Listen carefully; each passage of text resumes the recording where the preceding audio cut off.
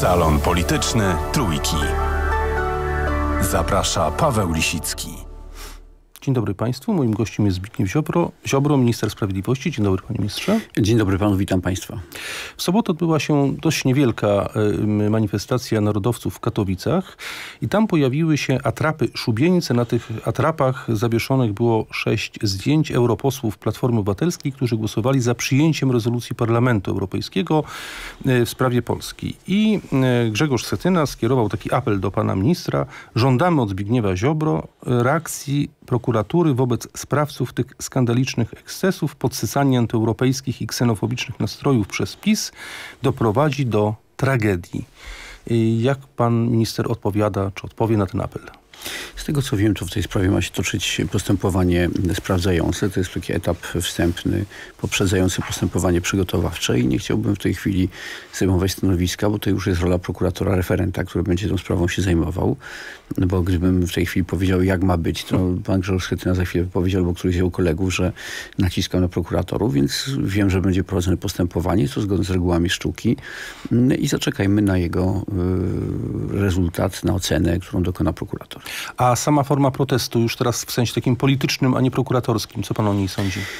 No ta e, forma procesu wpisuje się w taką formę radykalnego mm, protestu charakterystycznego dla różnych e, środowisk, które przyjmują skrajne postawy, manifestują w życiu publicznym. Mi się to nie podoba. Jeśli pyta mi pan o tą ocenę polityczną, czy estetyczną, czy nie mieści to w takich kulturowych ramach, które byłbym gotów akceptować. Jakkolwiek pamiętam oczywiście liczne zachowania po stronie manifestantów Kodu, którzy manifestowali w Warszawie. Przychodził tam pan Grzegorz Schetyna, inni e, ze śmietanki towarzyskiej Platformy i, e, i Nowoczesnej i, tak zwanej Warszawki, ważni wpływowi polityce i im to nie przeszkadzało. No, pamiętam zdjęcie na przykład tkwiło kaczki z, przy, przystawioną dubeltówką e, bez cienia wątpliwości, kogo należy odszczelić.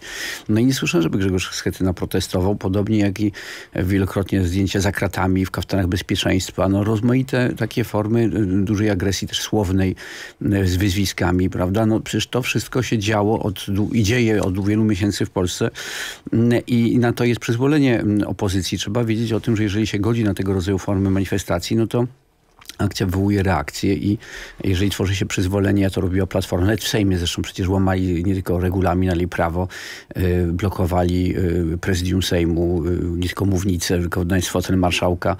To, to niestety prowadzi do eskalacji i, i ta tradycja w Polsce takich ostrych wystąpień z używaniem tych symbolicznych szubienic ma miejsce na różnych etapach naszej historii. No i teraz została przewrócona. A co pan minister powie na ten zarzut, który się często pojawia również w mediach, że PiS toleruje krytykuje te organizacje radykalnie narodowe, nacjonalistyczne, ksenofobiczne, bo to jest e, e, taki element wsparcia i niedopuszczenia do powstania osobnej grupy politycznej, że lepiej to tolerować niż e, zwalczać.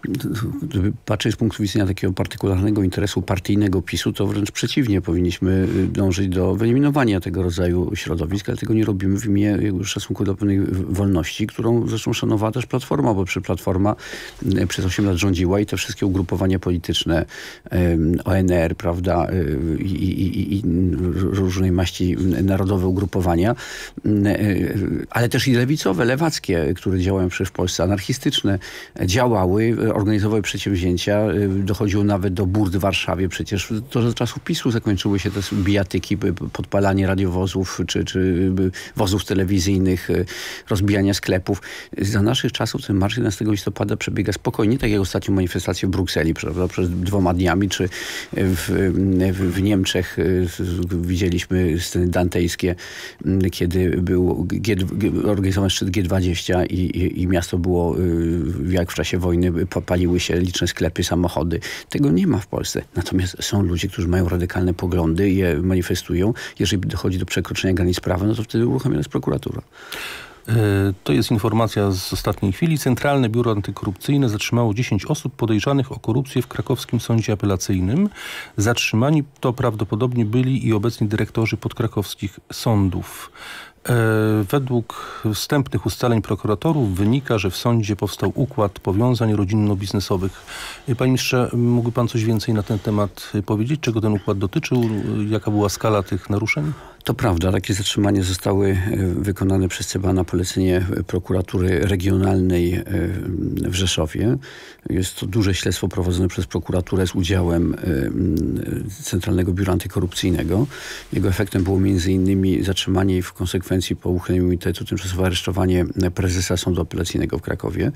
Wytworzył się rzeczywiście układ, który żerował na polskim sądownictwie. Na czym, polegał, na czym polegał ten układ? Bo to takie jest pojemne bardzo słowo tam można... ludzie, którzy dysponowali majątkiem, y, wykorzystywali go dla celów nie mających nic wspólnego z wymiarem sprawiedliwości, ale y, poprzez tworzenie fałszywych pretekstów wyprowadzali ogromne ilości pieniędzy. Dotyczy to dziesiątków milionów złotych. I y, to jest śledztwo rozwojowe. Niestety ten obszar patologii w polskim sądownictwie, który dotykał nie tylko wysokiej administracji mm, sądowej, to nie była należycie nadzorowana przez prezesów sądów i z tego też wyciągam wnioski, również będę odwoływał prezesów sądów, między innymi z tego powodu też i dzisiaj. Otóż y, to wszystko prowadziło do, do, do narastania tej patologii bezkarności właśnie w sferze temidy i dlatego potrzebne jest uzdrowienie i sanacja i działania zdecydowane z jednej strony w postaci skalpela, jakim jest postępowania karne, ale też w postaci zmian organizacyjno-ustrojowych, które zapobiegną tak wielkiej skali patologii na przyszłość. Pojawiła się informacja, że ta skala naruszeń może, może wynosić około 30 milionów złotych. Pan potwierdza tę sumę? Czy może tak. to w ogóle oszacować? Na dzień dzisiejszy takie są szacunki, ale doświadczenie życiowe podpowiada, że to mogły być kwoty znacznie większe, przekraczające te środki. Mówi się, że nie ma pieniędzy sądownictwo. Okazuje się, no, że były miliony wyprowadzane na boki zamiast właśnie na sądownictwo. I my tą patologię y, zwalczamy. Z jednej strony właśnie prokuraturą i stawiając zarzuty, zatrzymując i wnosząc aresztowanie osób odpowiedzialnych tych y, ogromnych nadużyć. A z drugiej strony chcemy dokonywać zmian systemowych, tak aby w przyszłości była lepsza kontrola ze strony Ministerstwa Centrali nad działaniem tych wszystkich dyrektorów, bo na pewno patologie się zdarzą i będą ludzie też nieuczciwi, ale chodzi o to, żeby była szybsza reakcja, e, by te e, relacje podległości rzeczywiście działały, a nie były fikcją, jak było to w poprzednim modelu, czy wręcz e, w sytuacji, kiedy prezesi sądów tolerowali co najmniej, a może i czasami w przypadku prezesa Sądu Apelacyjnego w Krakowie uczestniczyli w tym procederze przestępczym.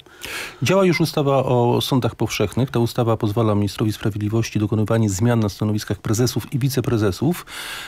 Jakimi kryteriami pan minister się kieruje? Na przykład jest dzisiaj chyba informacja o odwołaniu prezesa i wiceprezesów Sądu Okręgowego w Krakowie i w kilku innych sądach rejonowych też tej części? No, właśnie kieruje się takimi kryteriami jak ocena efektywności nadzoru administracyjnego strony prezesa sądu, który często bywa iluzoryczny, który często pokazuje słabość w postaci narastającej przewlekłości, złej organizacji pracy sądu, czy złej organizacji pracy administracji sądowej, no choćby też i y, znajdującej wyraz w tego rodzaju patologii, o której przed chwilą rozmawialiśmy.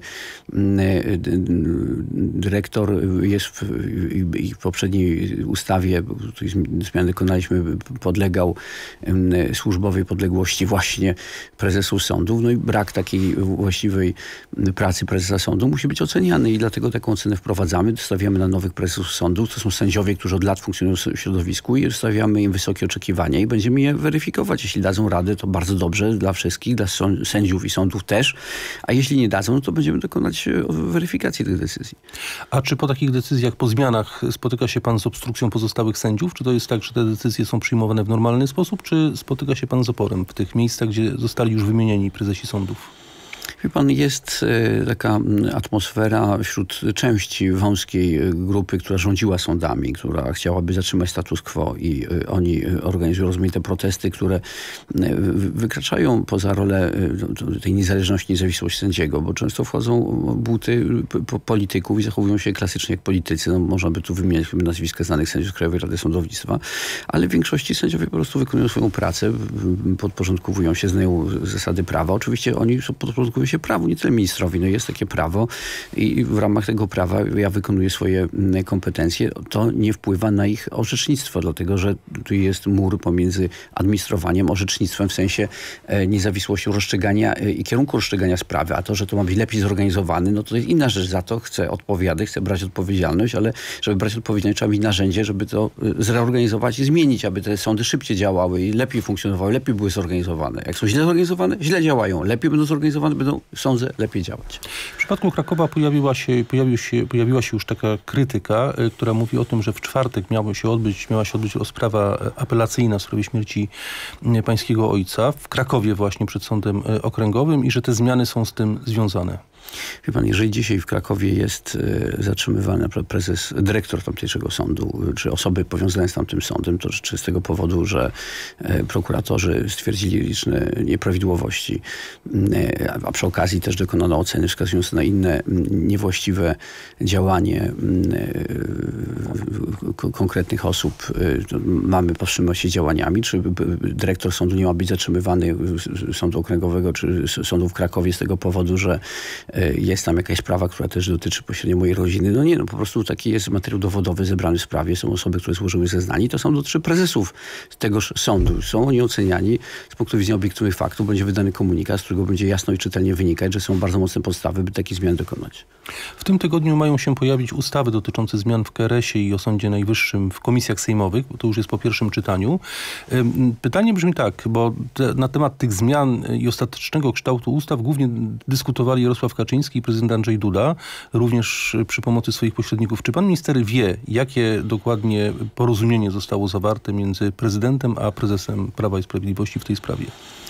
No nie byłbym szczery, gdybym powiedział, że nie mam na ten temat żadnej wiedzy. No, pewną wiedzę posiadam, ale też z racji charakteru tych rozmów, y, proszę wybaczyć, że nie będę patował tą swoją wiedzą, informacjami. Mogę powiedzieć, że mm, te ustalenia, które dotarły do mojej świadomości, dają nadzieję na to, że uda się dokonać istotną, pozytywną zmianę w sądownictwie. Oczywiście ja będę konsekwentny i uważam, że niektóre rozwiązania poprzedniej ustawy, mm, przykład ustawy o KRS-ie w szczególności, którą rząd bezpośrednio przygotowywał, były, wydaje mi się, trafniejsze. Natomiast na przykład powołanie dwóch izb, które miały równoważyć y, y, ogromną siłę korporacji, korporacyjnej, y, takiej y, negatywnej y, energii, która jest w polskim sądownictwie. Mm, Będzie jedna izba, okej, ale są to pewne zmiany, które dają nadzieję właśnie na y, przewietrzenie tego środowiska z ludzi, którzy byli bardzo mocno uwikłani w korporacyjne, egoistyczne, źle rozumiane zależności i solidarność, która y, to prowadziła do obrony patologii w polskim sądownictwie. A my chcemy, żeby KRS nie był hamulcowym, tylko żeby był otwarty na zmiany i jeżeli Sejm będzie wybierał, to dobrze, to jest, są jakieś e, pr- propozycje i myślę, że uda się je zrealizować, to jest najważniejsze. Dziękuję bardzo. Moim gościem był Zbigniew Ziobro, minister sprawiedliwości. Dziękuję panie ministrze. Dziękuję bardzo.